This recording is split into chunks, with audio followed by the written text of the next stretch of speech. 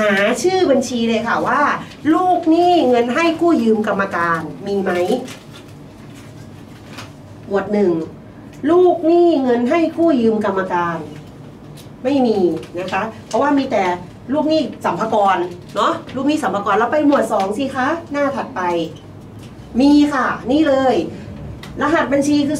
2138ขีด00 เขาตั้งผังบัญชีรวมกันทั้งเจ้าหนี้แล้วก็ลูกหนี้กรรมการอยู่ด้วยกันนะคะ ก็คือเจ้าหนี้ในวงเล็บ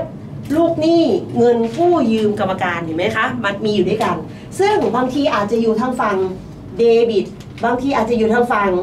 เครดิตก็เป็นไปได้ ฉะนั้นเคสนี้อยู่ทางด้านไหนคะเครดิต นี่คืออยู่ทางด้านเครดิต แปลว่าเป็นเจ้าหนี้หรือลูกหนี้คะเจ้าหนี้ ถ้าเกิดเป็นเจ้าหนี้สัมภากระบังคับให้เราคิดดอกเบี้ยไหมคะ